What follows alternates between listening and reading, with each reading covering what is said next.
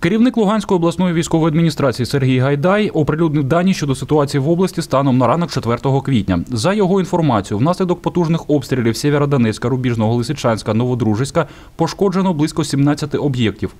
З них три багатоквартирних та шість приватних житлових будинків. Господарчі споруди, гаражі, об'єкти інфраструктури, автомобілі. Ворожий снаряд влучив в дах стратегічного об'єкту у хірургічне відділення лікарні в Рубіжному.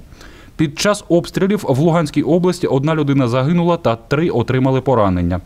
Вчора Сергій Гайдай коротко описав ситуацію на фронтах Луганщини. Давайте спочатку за те, що відбувається, що накопичують е, війська орки, вони мобілізують там людей в ЛДНРі, Е, відслідковуємо, де в них та техніка, де ті люди, розуміємо. Давайте так, з приводу там підкріплень і озброєння ми не будемо а, тут говорити. Е, Все нормально. А, Вибили під Києвом, виб'ємо е, і в нас на Луганщині.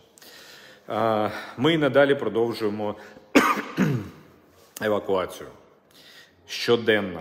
Він закликав мирних мешканців евакуюватися та звернув увагу, що евакуація безкоштовна. Також він зазначив, що Луганщина отримала велику кількість гуманітарної допомоги, проте доправити її в деякі регіони дуже складно. Що стосується гуманітарних вантажів, їх дуже багато.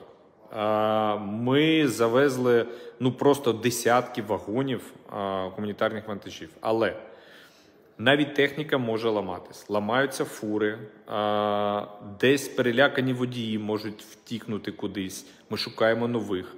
Е, Ламаються машини, е, шукаємо нові, завозимо з інших областей. Це важкий процес. Е, І я тут, до речі, не жаліюсь. Я просто говорю, що процес важкий. Довести іноді в деякі населені пункти немає взагалі ніякої можливості, тому що війна, тому що обстріли, тому що машина поїде, і водій загине, і, і машина, машину підірвуть, і, і вантаж втратимо.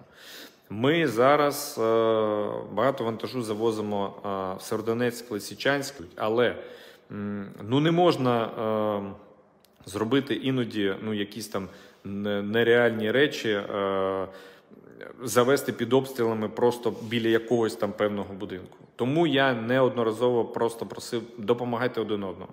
Будь ласка, допомагайте. Тому що ну, е, десятки тисяч людей дійсно потребують допомоги.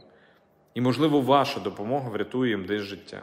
Сьогодні відбудеться евакуація жителів Рубіжного, Лисичанська, Сєвєродонецька гірської громади Попасної.